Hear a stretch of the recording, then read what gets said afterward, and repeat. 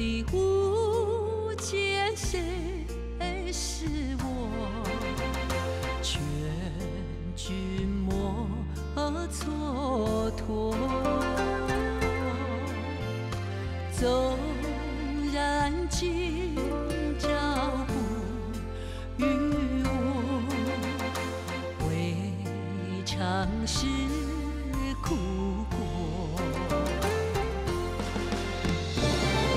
去追。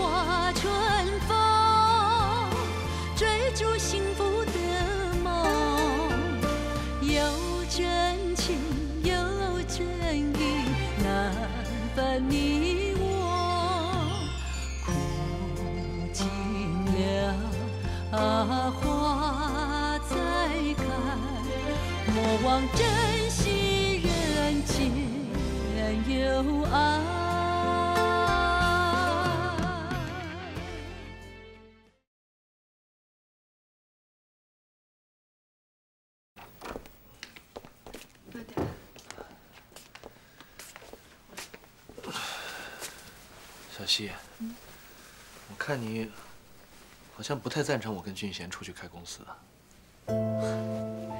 你终于可以开创自己的事业，我当然会高兴了。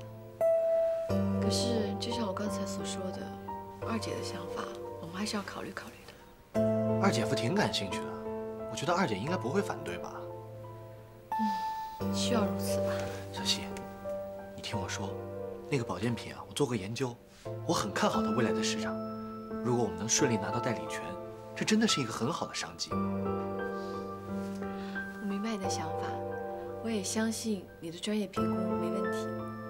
那你的意思？我试试找二姐谈谈吧。小溪，这真的是一个绝好的机会，我们一定要把握住了。我突然觉得，我英雄终于有用武之地了。好，英雄，该洗澡了，赶紧的。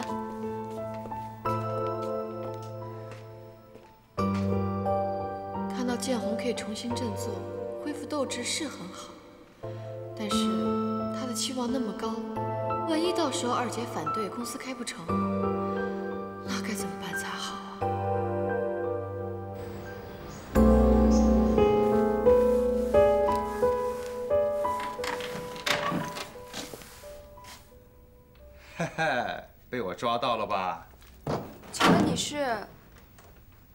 管我是谁，只要知道我是你爸爸派过来抓你的就行。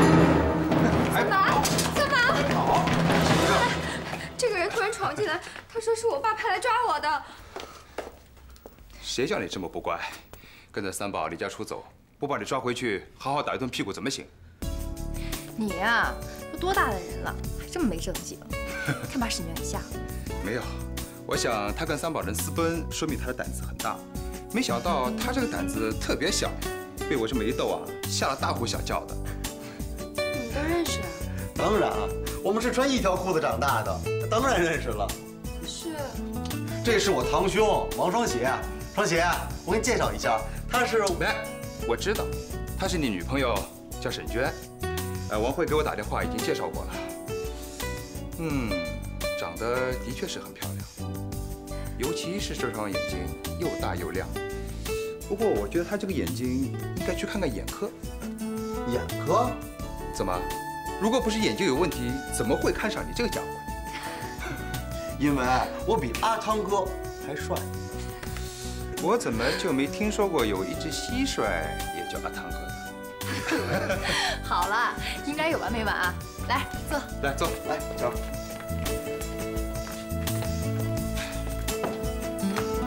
沈娟，我们三个从小闹来闹去闹习惯了，这个做哥哥的没个正经，做弟弟的也没大没小的。怎么着，吓着你了吧？我没事儿。娟儿，我跟你说，我这个堂兄可了不起了，他是广播电台里最红的主持人，不像我这个做旅游的小弟，没出息。别这么说，别这么说。我有本事确实是不错，但主要的还是因为我是电台主持人里面最帅的，所以才会这么红。听众只能听到你的声音，他们怎么知道你长得帅不帅啊？哎，这你就不懂了。让人家看到你说你英俊，这没什么了不起的。要让那些听众朋友一听到我的声音，就觉得我一定很英俊，这才厉害。三宝，你女朋友笑起来很甜吗？嗯，不错不错，跟我的眼光一样的好。来，王欢，你说是吧？不是，人家沈娟是三宝的女朋友没错，我呢只是你的小妹，差很多呢。啊，好了好了，我这两天出去跑了一圈，看了几家厂商，拿了些样品回来，你看。这么多啊！你可别小看了，经过我们的广播电台啊，一宣传，肯定能卖得火。真的啊？是啊，只要你会宣传，听众就肯买。双喜哥，既然你这么有关系，又很有经验，你干嘛不自己开家店做生意呢？这不是更容易一些吗？啊，这可不一样，在电台做广告收的是广告费，只要靠我们这个嘴说出来就可以了。这跟我们开店做生意是两码事。每天晚上有好几万的听众在空中跟我们相见，你说开个店一天能有好几万的客人上门吗？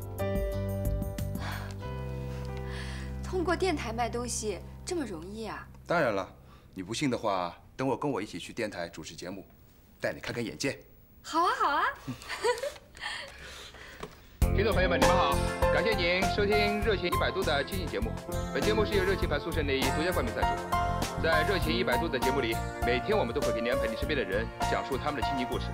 在歌曲点播的时间里，你可以为您的亲人点播你喜欢的歌曲，还有短短的能让你忘掉每天烦恼的幽默笑话，将轻轻松松的把你带进我们每一天一小时的亲情节目。现在，我王双喜先给你讲个笑话，作为今天的开场。怎么样？我哥嘴是不是比我还厉害？这回你该相信他的话了吧？我还是第一次亲眼看到别人广播呢，真有意思啊！好，现在又到了听众朋友们点歌的时间了。今天来到我们现场的是著名的歌手王慧小姐。王慧小姐，跟听众说两句。各位听众朋友们，王慧在这里向大家问好。哇，真的好快，现在就有人打电话过来点歌了。这位王先生要点一首《痴痴的等》，送给他最可爱的女朋友李小姐。现在我们有请王慧小姐为大家演唱这首《痴痴的等》。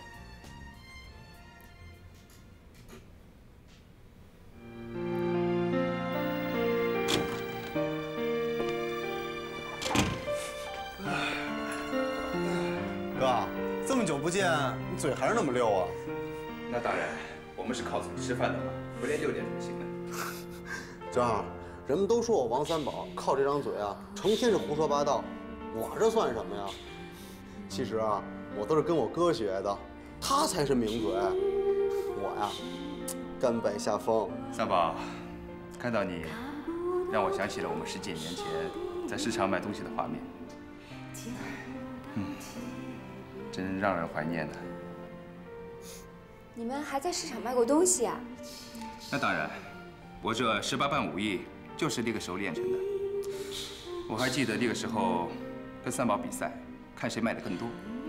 一个在右边摆摊，一个在左边叫卖，生意好的不得了。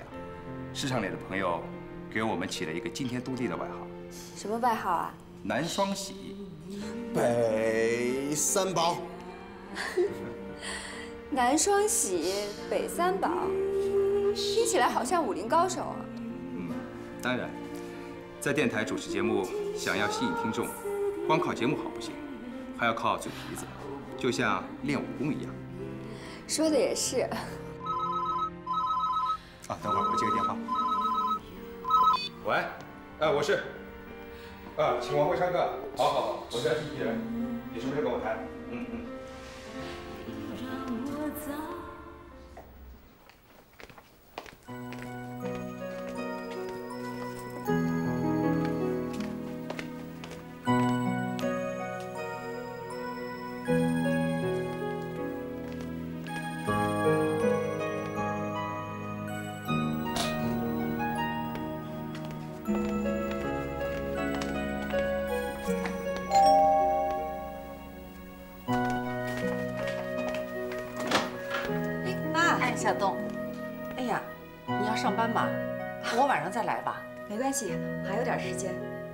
进来坐吧。好。小东啊，最近跟李平没事吧？没事了，挺好的。哎，就是嘛。你对李平家里的人呢，要宽宏大量一点，别太小气了。妈，你又不是不知道，这过日子哪有那么简单？再说了，我跟李萍都是工薪阶层，拿的都是死工资，什么钱该花，什么钱不该花，这个每个月都是有计划的。哎呀，怪不得人们都说贫贱夫妻百事哀啊，真没错。现在这么多人都下岗了，你跟李萍有固定工作，而且还是铁饭碗，已经很不错了。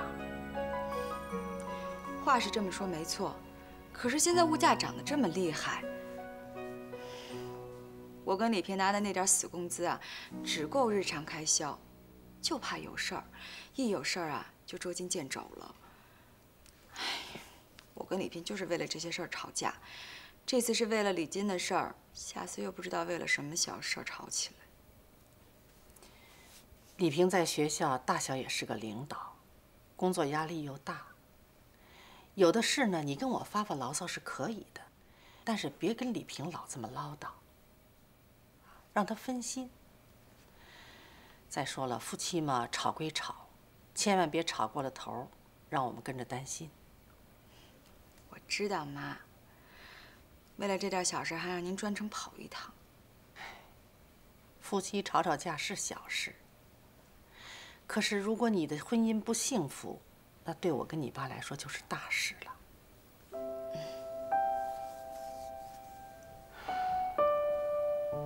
妈，您来找我不只是为了我和李萍的事儿吧？嗯。昨晚小北跟我们说，说俊贤要跟建红合伙开一个生计公司。我想听听你的看法。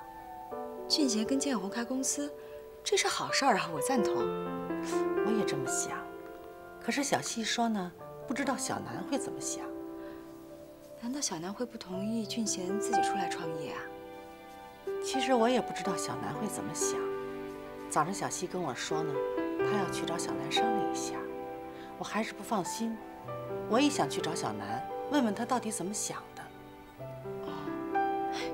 小西有时候是想太多了，两个连进开公司，这是好事儿啊，应该不会有问题的。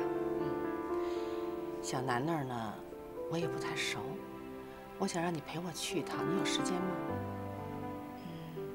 嗯，好吧，那我先打个电话跟单位请个假，再陪您去。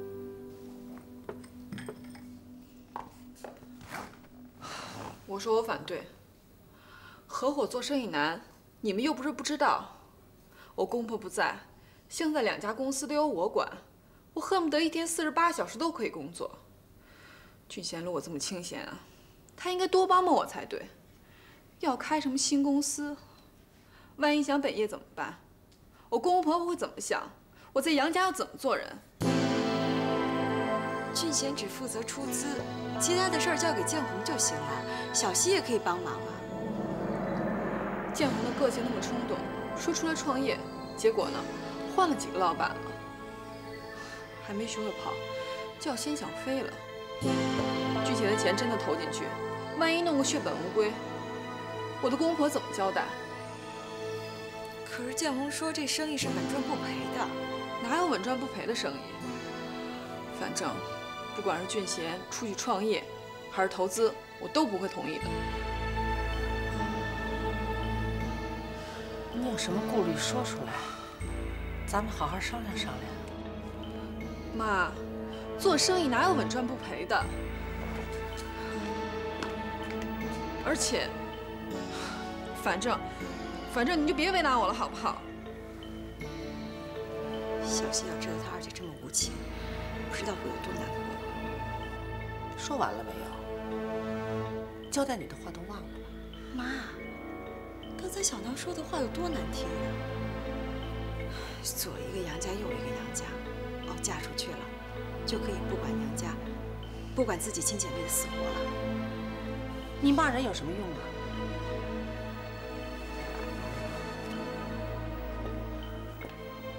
小南，其实建红的能力没有那么差。刚进入社会是要花点时间适应环境的，他很想努力的把事情做好，只不过是没有碰到好的老板和好环境，运气差点罢了。妈，他没本事捧人家的饭碗，就把责任都怪在老板身上，那我们这些当老板的不都要一头撞死？你，怪不得人们都说穷人没有有钱人的亲戚呢。谁叫建宏和小溪没本事呢？只能委曲求全，看别人的脸色过日子了。你干嘛把话说的这么难听？我又没有这个意思。你们俩你言我一语，要吵到什么时候啊？你们都没有错，错的是我，行了吧？早知道这样不来，什么事都没有。我公婆不在，公司由我管。我如果不同意，他休想把钱拿出去乱搞一通。你反对也没有用，这件事情我已经决定了。妈，大姐，你们来。俊贤，好。你听听，连俊贤都知道要帮妹妹和妹夫，你少说两句。俊贤，这么大的事情，你怎么不提前跟我商量一下？现在商量也不晚呀。啊，是不是我这个总经理以后什么事儿都得跟你这个代理董事长先商量一下，汇报一声？你这话是什么意思？我又不是你的上司，你跟我汇报什么？对吧？你看你都说了，你又不是我的上司，那我干嘛干什么事情都要经过你的同意？你说呀。俊贤，小南不是这个意思。妈，您不是说过吗？夫妻间的事儿，外人最好不要插手，让他们自己解决吧。俊贤，我是为了你好。你的责任就是我的责任，而且现在爸妈又不在，我更不能让你冒这个险了。小南，你知道吗？这是我除了坚持娶你进门之外，做的人生第二个最重要的决定。不管你说什么，我一定要坚持我的做法。你，你的意思是，不管我是同意还是反对，你都要投资是吗？姐妹俩还没吵完呢。夫妻俩又吵起来了，这下这生意是做也不对，不做也不对。小南，开公司也不是说开就开的事，别着急，大家好好商量。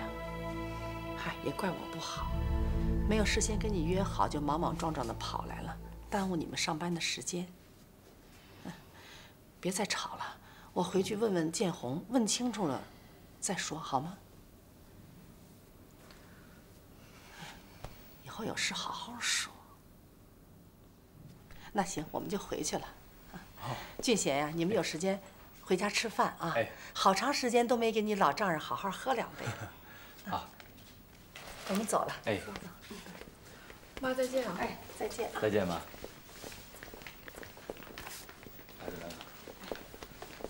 再见，啊，妈。哎。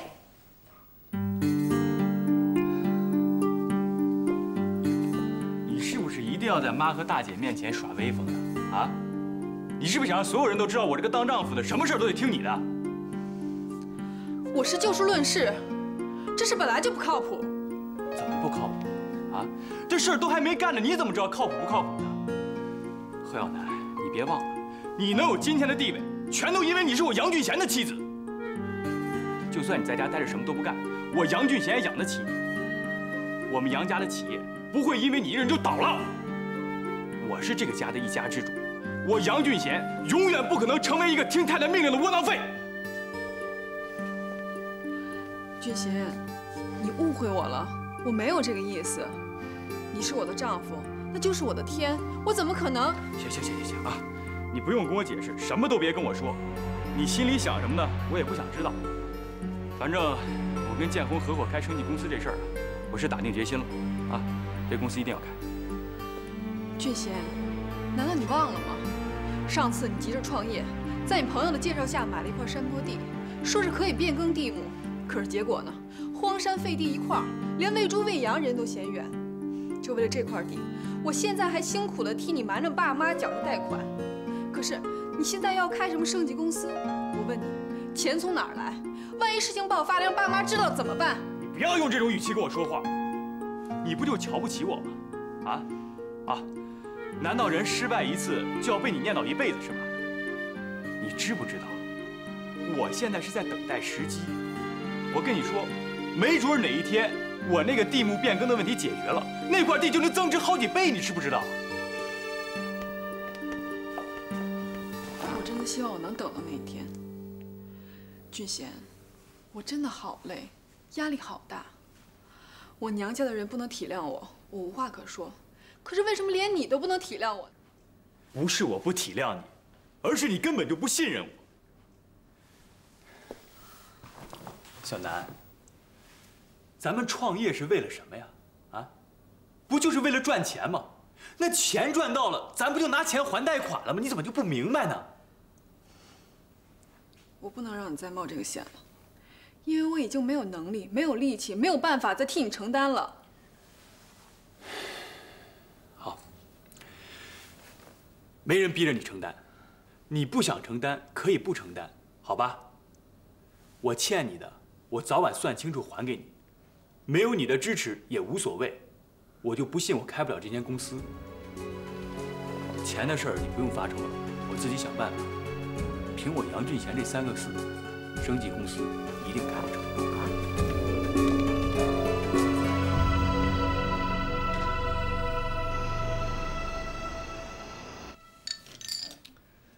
都怪我和建红不好，自己没钱还要开公司，难怪二姐不赞成。这怎么能怪你和建红呢？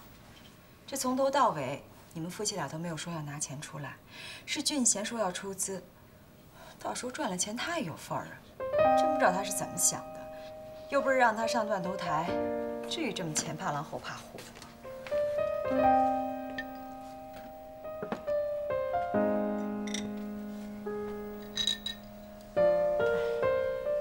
你们也别怪小南，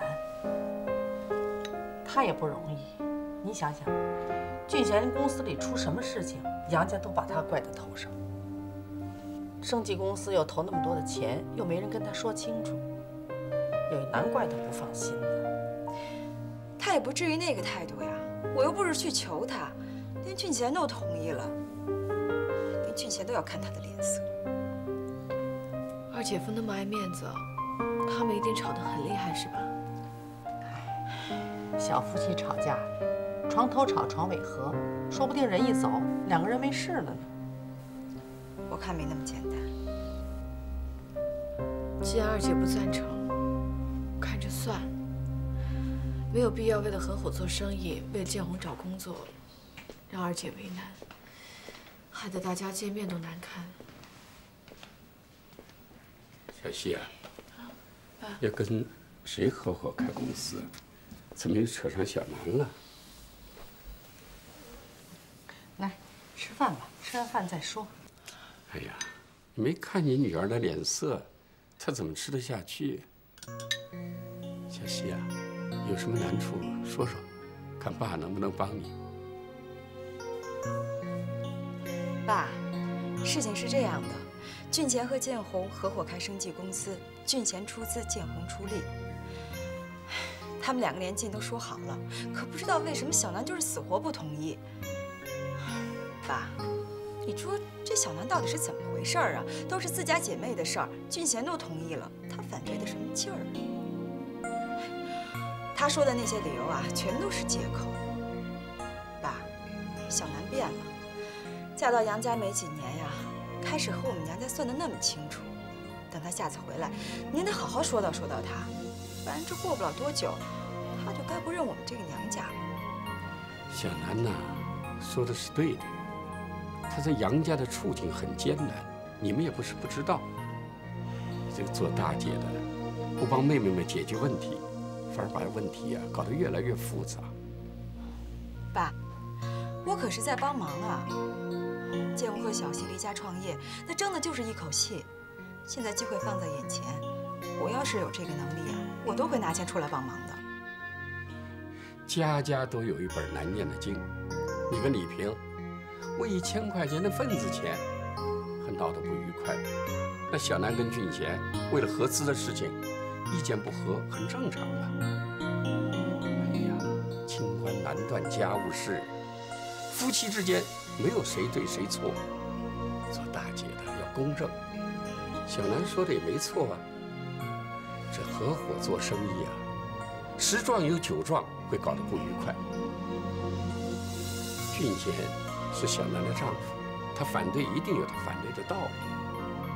何况建红初入社会，没有什么经验，把一百多万的资金交给他，说实话，我也不太放心。爸，哎，我并不是说建红没有能力，我只是说啊，搞事业呢，也要一步一步的来，不能一步登天，是不是啊？啊，虽然说机会难得，也得自己充分准备好了，才能够好好的利用机会。你说，建红他准备好了当老板了吗？爸，我明白您的意思了。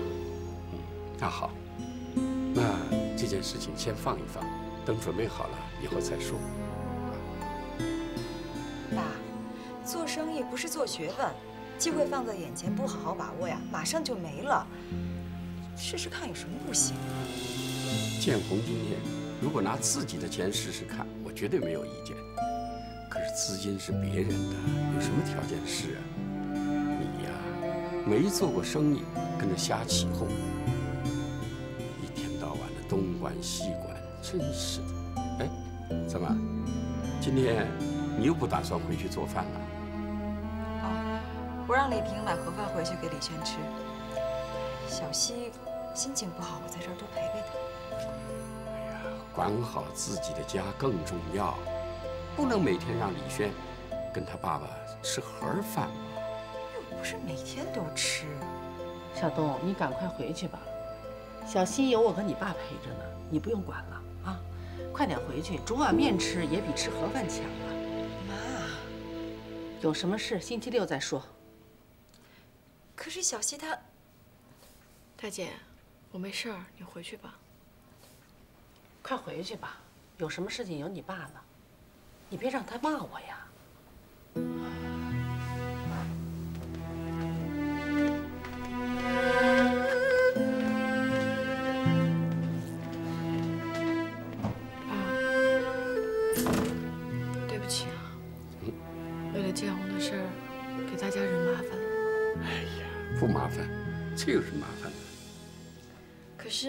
二姐和二姐夫，不要紧，小南那儿啊，隔两天我去跟他说清楚。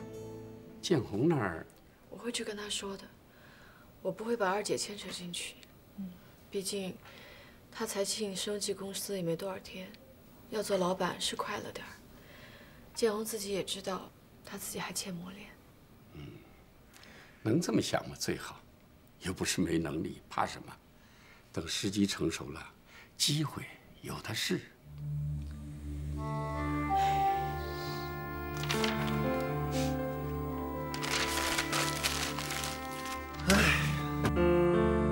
好不容易才写好的公司筹划书，想不到这么快就没用。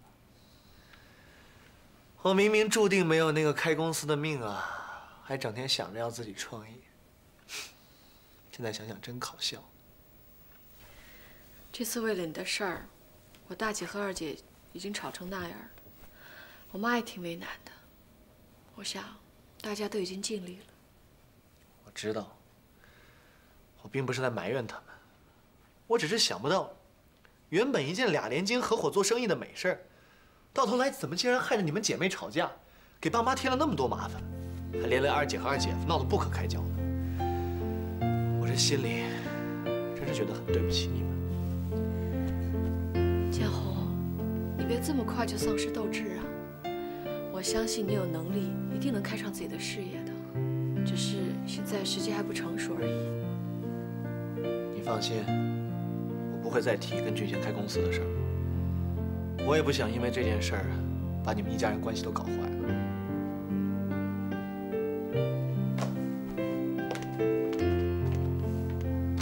这份筹划书啊，是你的智慧还有心血，一定要好好的把它收着，将来啊一定用得到的。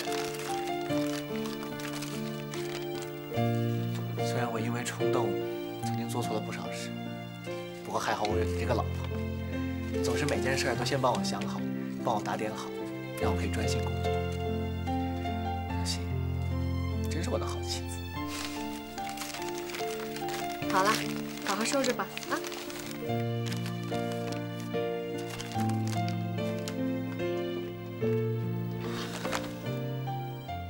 这么好的机会，我难道真的要放弃吗？如果我有办法凑到这笔资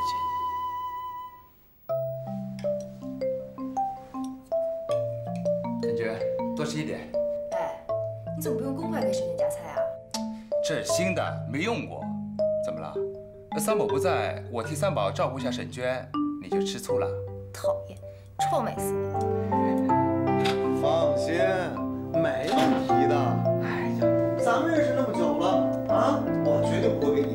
子的，全给他搞定啊！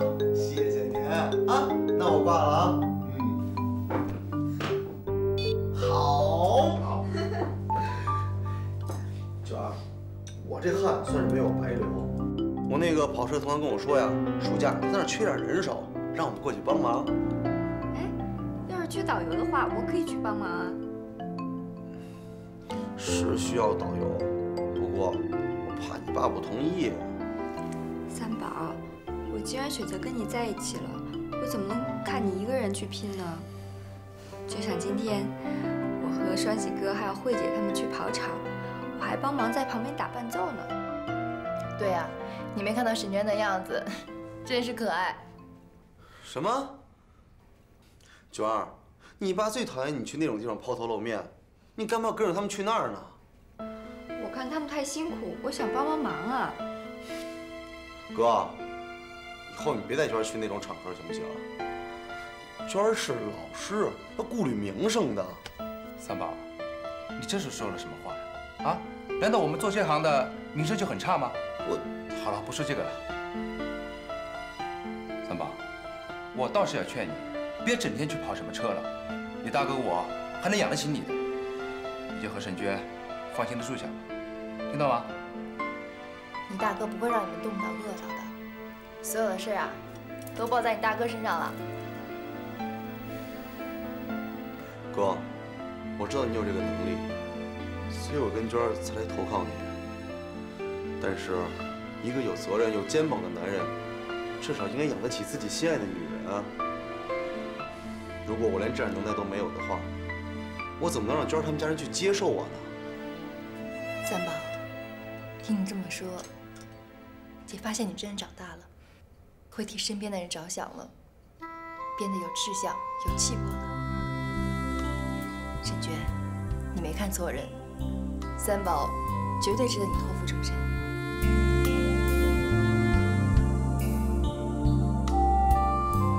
三宝，好样的！你王慧姐也夸你有魄力。来，哥敬你们一杯，祝你们两个有情人终成眷属。来，喝酒。嗯，来，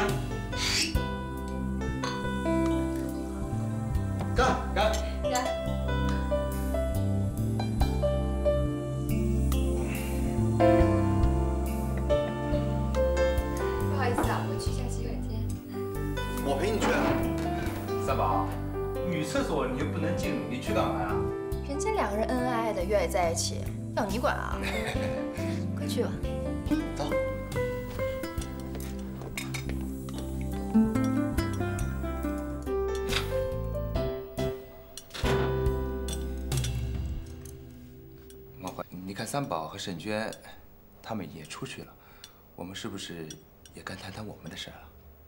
家里的事儿，哎，是是是，是家里的事儿。这个月给妈妈寄钱了吗？这事儿不用你提，钱早寄了。每次打电话回家，他老是哭穷，就好像我这个做儿子的从来不给他钱花似的。人老了，爱唠叨，你就听他唠叨几句，又不会少块肉。哎，寄钱回去也没有什么问题。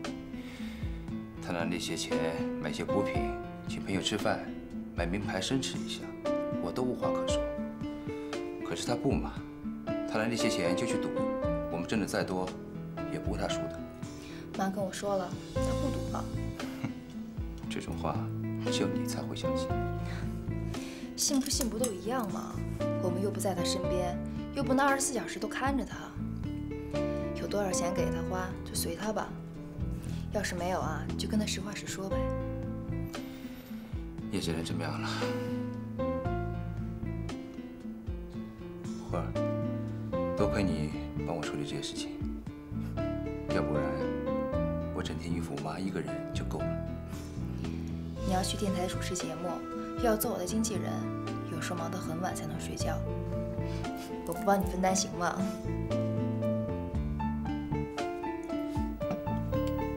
孟怀，我早说过，有你在，我什么都不要担心。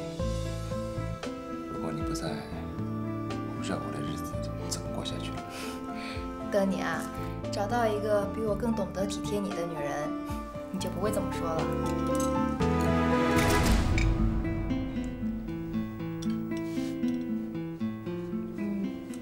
好像最近找你客串主持的不多了，是不是要改变一下形象和主持风格呀？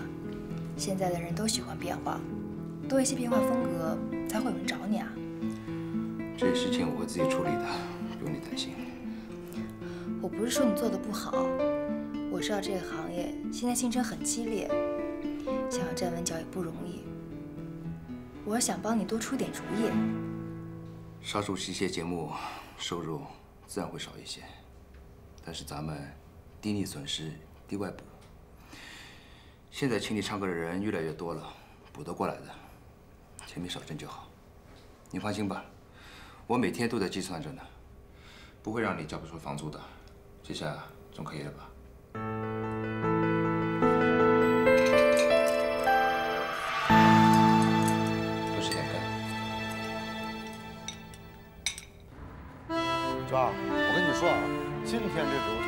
程是一家大公司的员工拓展活动，应该不会有什么不三不四的人吧？你可以放心去。我才不怕呢！不管出什么事情，你都会冲在前面保护我的，对吧？那当然了，你是我好不容易追来的梦幻情人啊！我王三宝宁可不要命，也不让人动你一根汗毛。你说什么呢？你要是不在了，我活着还有什么意思？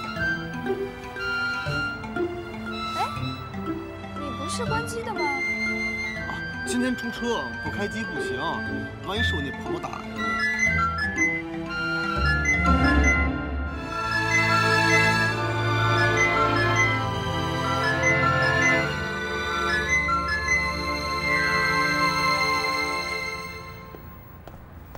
这儿，不接电话不好吧？我们不让他知道我们在哪儿不就行了吗？别说了，我自己的哥哥，我最清楚他在想什么。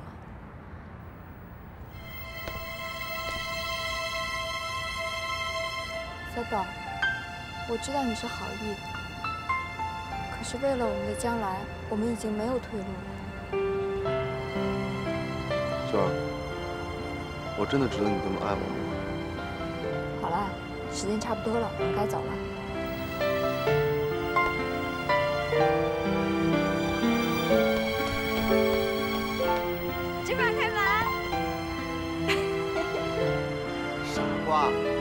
是阿里巴巴，要开门得需要这把钥匙。平时都是你逗我开心，我偶尔也要报答一下你嘛。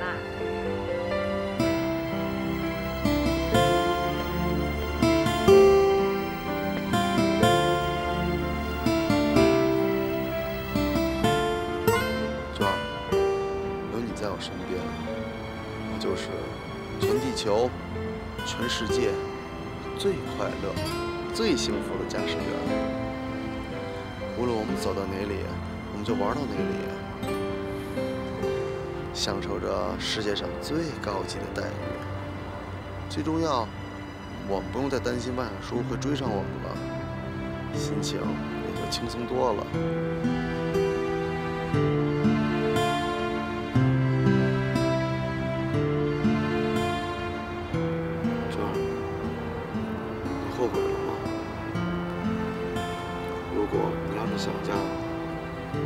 现在就送你回去。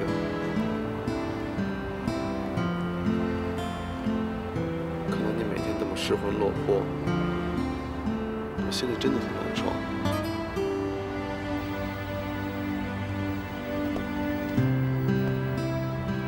三宝，你可知道我这个被宠坏的大小姐，为什么心甘情愿地跟着你离开家四处流浪吗？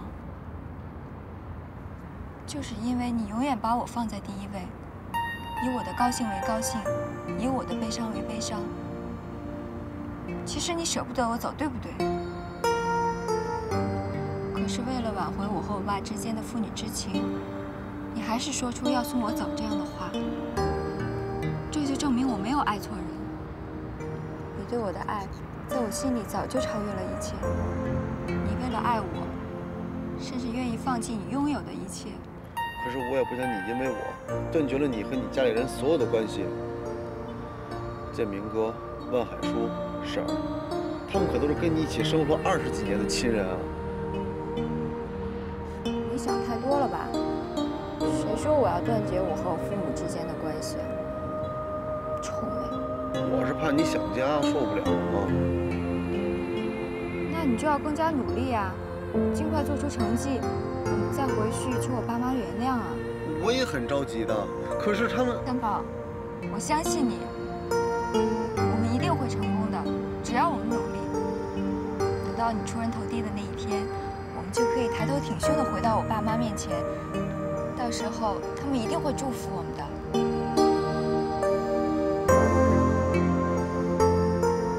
拉钩。